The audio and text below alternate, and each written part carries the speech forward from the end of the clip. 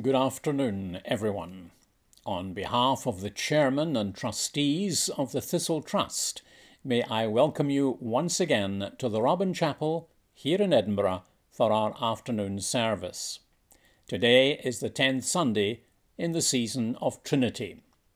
I'm Dr. Iain Barclay, the chaplain. I would also like to welcome the Reverend Mary Whittaker of St. John's Church for Deaf People in Aberdeen. Mary is our guest preacher today. She is joined by her sister Anne Fawkes, who will share with her in parts of the service. Our guest reader today is Kay Coull, a member of the Kirk Session of Balerno Parish Church. To you all, it is wonderful to have you sharing with us in our service today. Please accept our thanks and our appreciation for your support of the ministry of the Robin Chapel. To those who are joining us for the first time at worship, may I offer a most sincere welcome to you. To those who are with us Sunday by Sunday, may I welcome you once more. The format of our service today closely approximates to what you would experience in the chapel on the second Sunday of the month, once we reopen. In our worship, we are again ably supported by the voices of James Slimmings, our Director of Music, Sally Carr, one of our lay clerks, and Callum Robertson, our Assistant Organist, who come together as the Robin Chapel Music Group.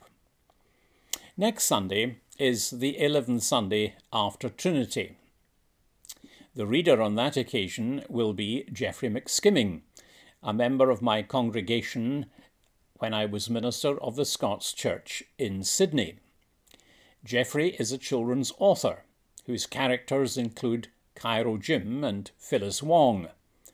Dare I say it, if you're looking for a book for your children or grandchildren for Christmas, the new Cairo Jim novel Cairo Jim and the Portal of Peristophanes, The Return of Cairo Jim, will appear in November 2021. But I'm glad to say Geoffrey will be with us before that. Our bidding psalm today is Psalm 34. I will always bless the Lord. You can find this as the hymn number 27 in Church Hymnary, 4th edition.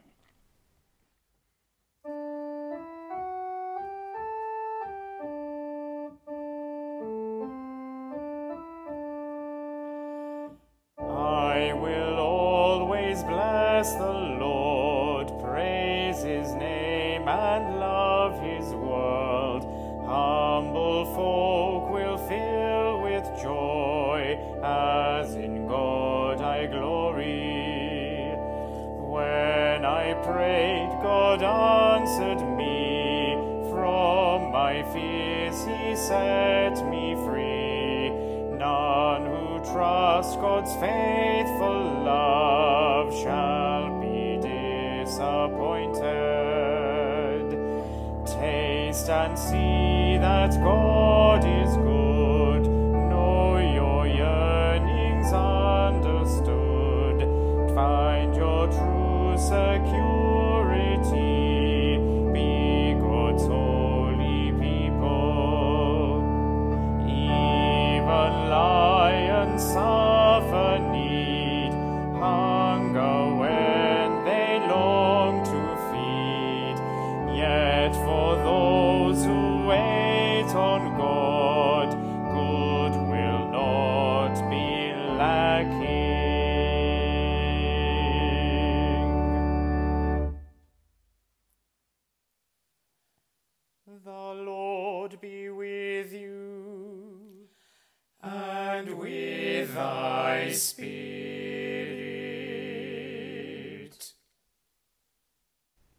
Let us now offer our prayers. Let us pray. Let us approach God in humility and faith. Almighty God, to whom all hearts are open, all desires known, and from whom no secrets are hidden, cleanse the thoughts of our hearts by the inspiration of your Holy Spirit, that we may perfectly love you and worthily magnify your holy name through Christ our Lord. Amen. Let us confess our sins in penitence and faith. Merciful God, you have made us in your image, with a mind to know you, a heart to love you, and a will to serve you. But our knowledge is imperfect, our love inconstant, and our obedience incomplete. Day by day we fail to grow into your likeness. Yet you are slow to be angry with your children. For the sake of Jesus Christ, your Son, our Saviour, do not hold our sins against us, but in your tender love, forgive us. Amen. Lord, have mercy upon us. Christ, have mercy upon us. Lord, have mercy upon us.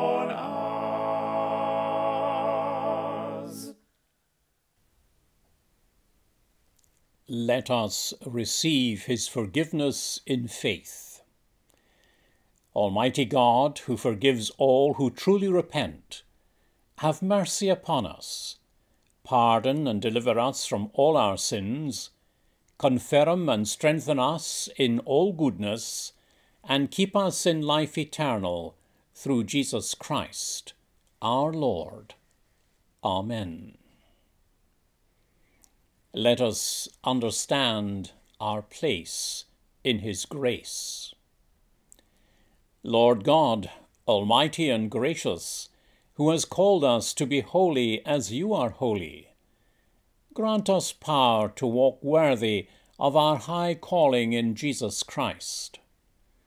Strengthen us against temptation, teach us to do your will, cause us to abound more and more in faith and love, in holy desires and kind and brotherly affections, in pure and peaceable dispositions, and in patient and humble service, that the name of the Lord Jesus Christ may be glorified in us. God of peace, sanctify us wholly, until we stand perfect and complete in your presence. And to you, Father, Son, and Holy Spirit, be all glory and praise, world without end. Amen.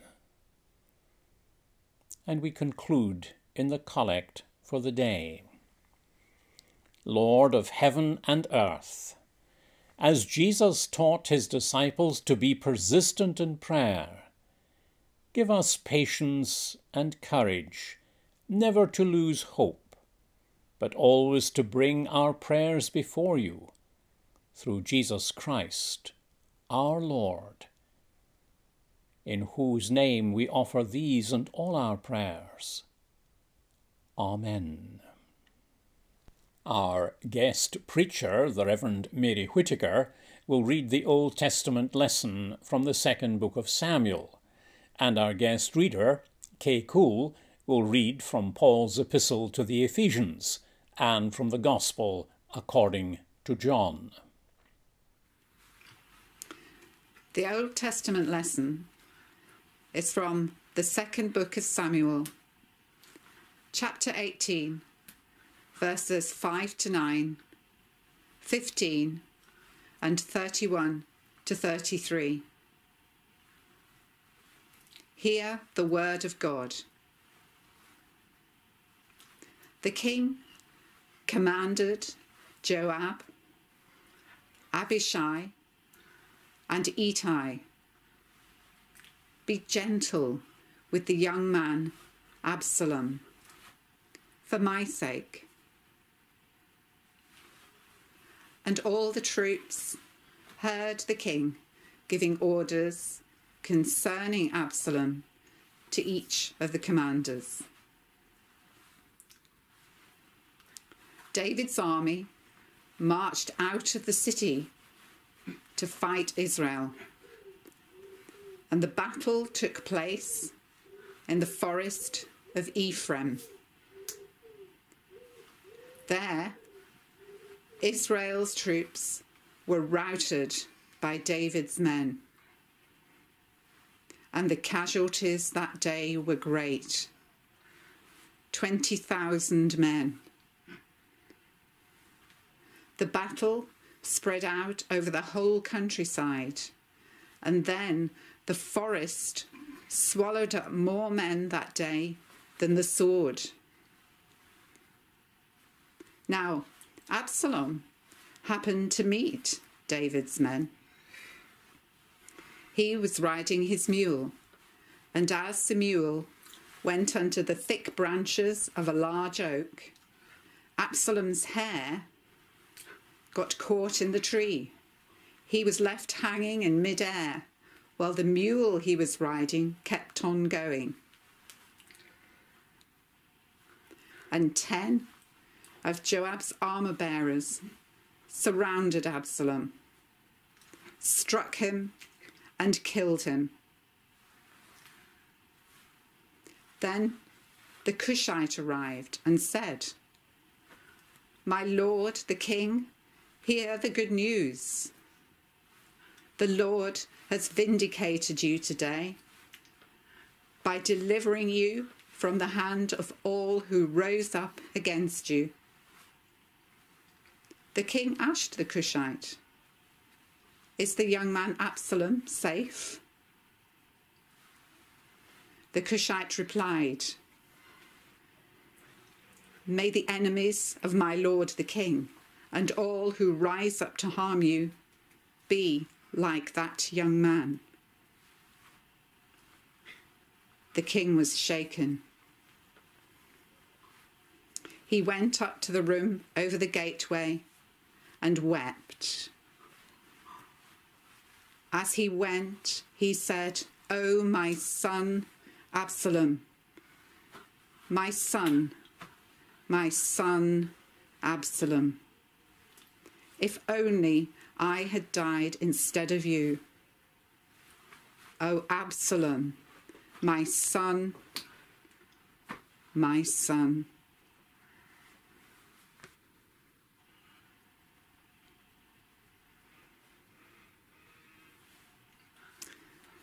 The Robin Chapel Music Group will now sing Psalm 130. Out of the depths have I cried to you, O Lord. Out of the deep have I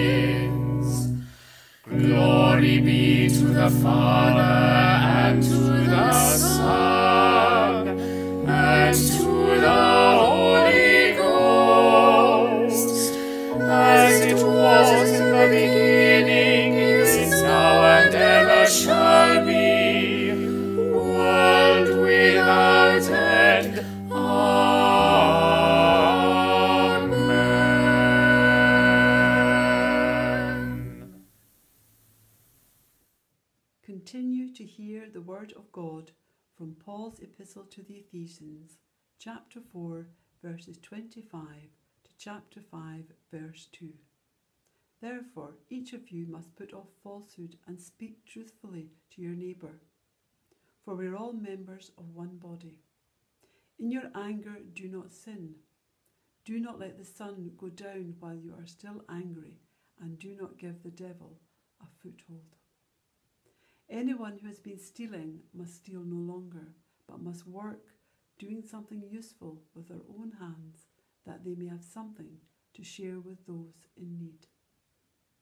Do not let any unwholesome talk come out of your mouths, but only what is helpful for building others up according to their needs, that it may benefit those who listen. And do not grieve the Holy Spirit of God with whom you are sealed for the day of redemption. Get rid of all bitterness, rage and anger, brawling and slander, along with every form of malice. Be kind and compassionate to one another, forgiving each other, just as in Christ God forgave you. Follow God's example, therefore, as dearly loved children, and walk in the way of love, just as Christ loved us and gave himself up for us as a fragrant offering and sacrifice to God. Amen, and thanks be to God. The Robin Chapel Music Group will now sing our first canticle, Jubilate Deo, to a setting by William Walton.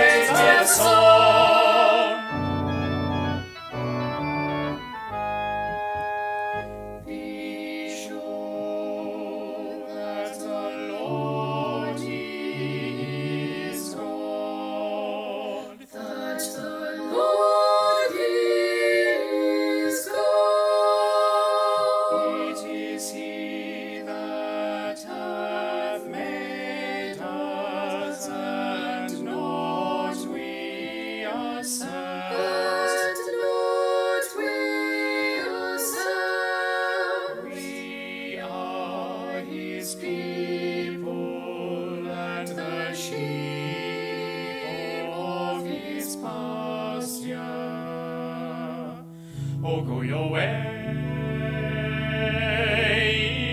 into His gates, into His gates with thanksgiving. Into his gates, into his gates with thanksgiving. and into its courts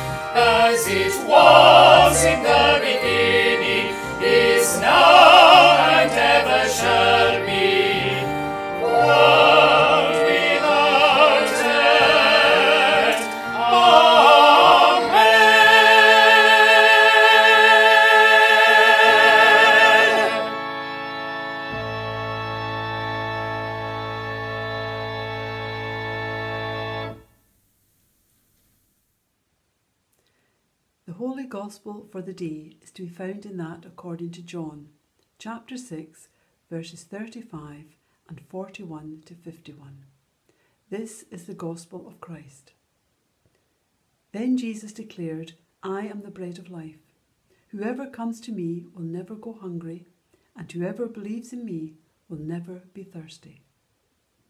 And continuing at verse 41. At this, the Jews there, be- there began to grumble about him because he said, I am the bread that came down from heaven. They said, Is this not Jesus, the son of Joseph, whose father and mother we know? How can he now say, I came down from heaven? Stop grumbling among yourselves, Jesus answered. No one can come to me unless the Father who sent me draws them, and I will raise them up at the last day. It is written in the prophets, they will be taught by God. Everyone who has heard the Father and learned from him comes to me. No one has seen the Father except the one who is from God. Only he has seen the Father. Very truly I tell you, the one who believes has eternal life. I am the bread of life. Your ancestors ate manna in the wilderness, yet they died. But here is the bread that comes down from heaven, which anyone may eat and not die. I am the living bread that came down from heaven. Whoever eats this bread will live forever. This bread is my flesh, which I will give for the life of the world. Amen, and thanks be to God. Amen, and thanks be to God for these readings of His holy word. To His name be the praise and glory. Nunc dimiti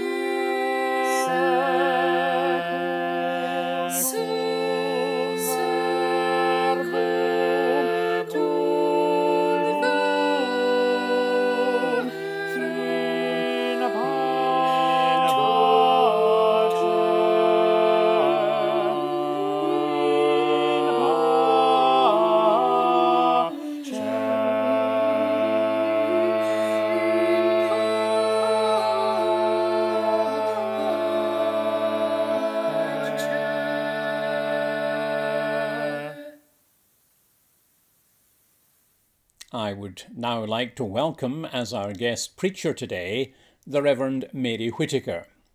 Mary will now preach using British Sign Language, and her sister Anne Fawkes will give the rendering in English. Mary.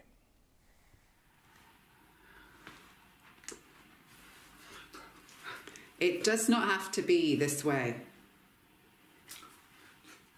Today's reading is the story of Absalom being killed and David grieving. This conclusion means nothing to us if we don't know the rest of the story, the lead up to this stage. If you've seen the film Titanic with Leonardo DiCaprio and Kate Winslet, it starts with the wreck under the ocean and then it takes the rest of the film to explain the ending. I'd encourage you to take time to read back to 2 Samuel chapter 13 through to this chapter 18. This story is worthy of a TV soap. The gist of this story is that after Absalom killed his half brother for raping his sister, he ran off and he stayed away from his father David for three years. Eventually, David was persuaded to allow Absalom to come back to Jerusalem. However, David refused to see his own son. Two further years passed, Absalom trying to arrange a meeting with his father. And finally, they met. But were they reconciled?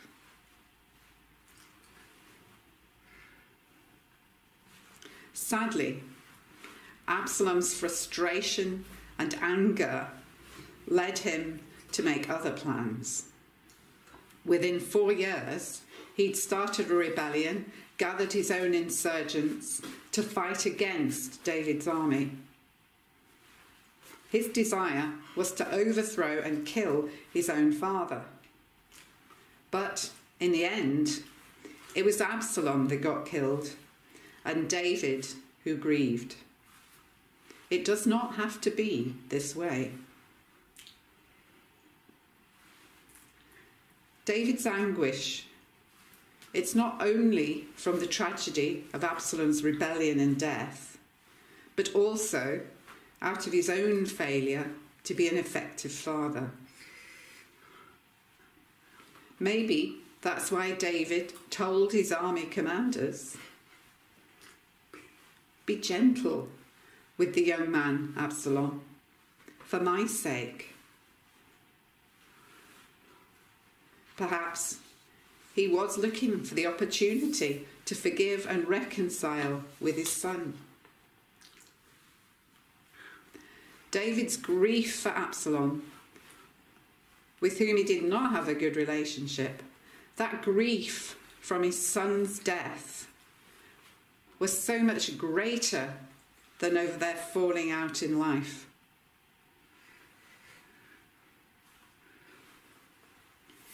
He'd missed so many opportunities to seek forgiveness. What happened to Absalom and David did not have to be this way. And we can ask ourselves, what if? What if David's forgiveness of Absalom had been accepted?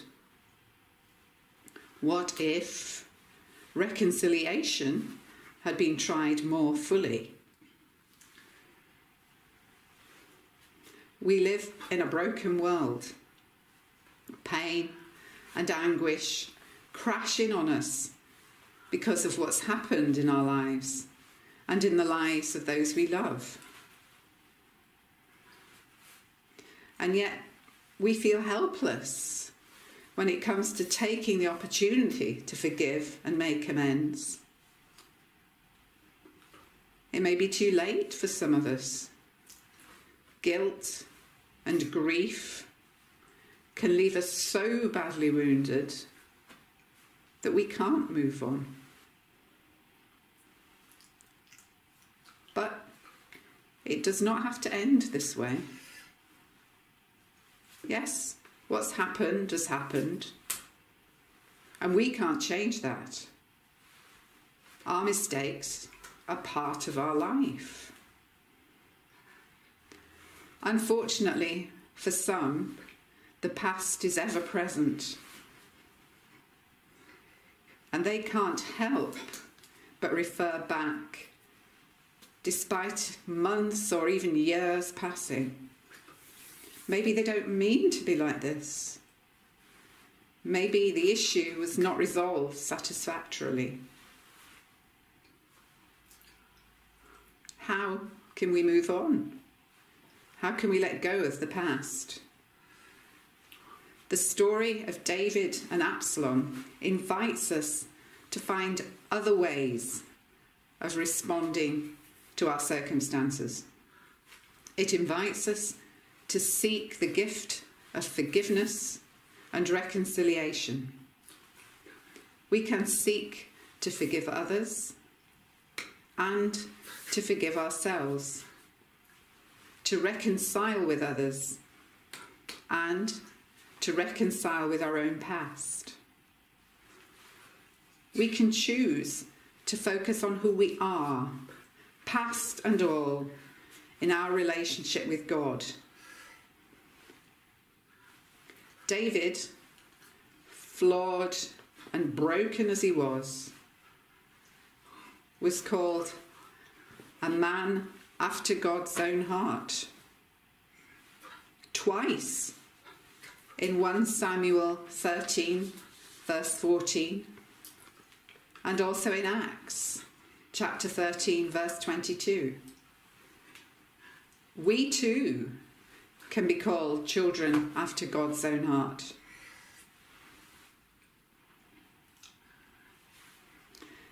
David's fatherly tears and his words, If only I had died instead of you, reminds us of the compassion of God for his rebellious children, of his willingness to die for us. The image of David's son Absalom left hanging midair. That leads us to reflect on the image of God's son Jesus, left hanging between heaven and earth, between life and death. David's fatherly grief showed that he couldn't help loving his rebellious son. God's fatherly grief showed that he couldn't help loving his rebellious children. Unlike Absalom's death by vengeance, Jesus' death is the gift of forgiveness and reconciliation that can restore us.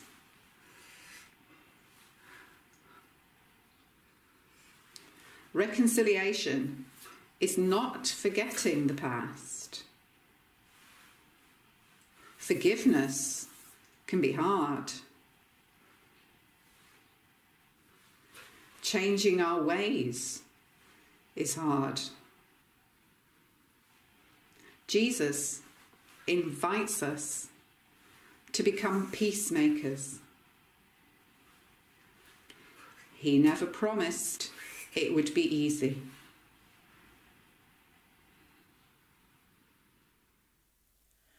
Praise God from whom all blessings flow. Praise Him, all creatures below. Praise him above, ye heavenly host. Praise Father, Son, and Holy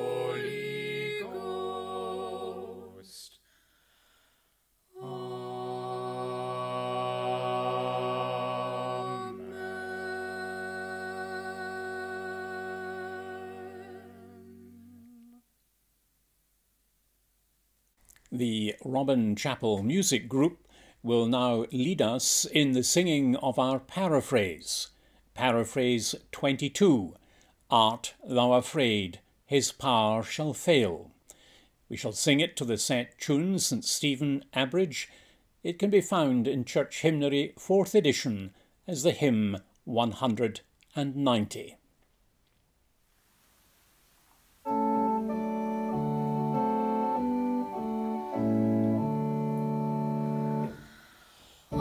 So.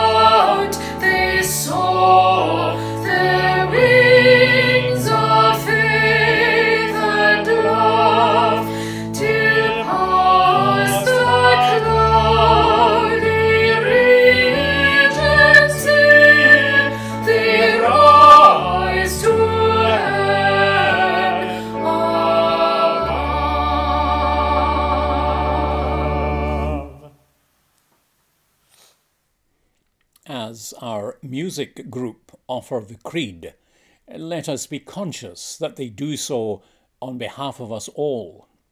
Thereafter, we shall return to our prayers.